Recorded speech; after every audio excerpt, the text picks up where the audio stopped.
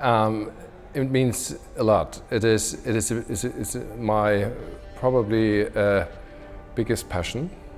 Uh, obviously beyond my family, which is even a bigger passion, but uh, passion is not the right word for the family. So sailing is my, my passion. Um, from my very young years onwards, I started sailing when I was four.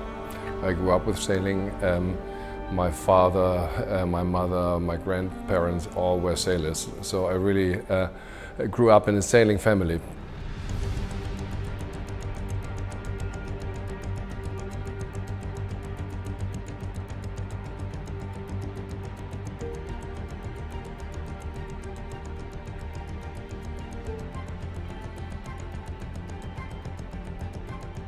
Um, and when I am sailing, um, this is probably the only opportunities in the year where I can completely shut down and replace my normal uh, professional stress uh, with something what I really enjoy.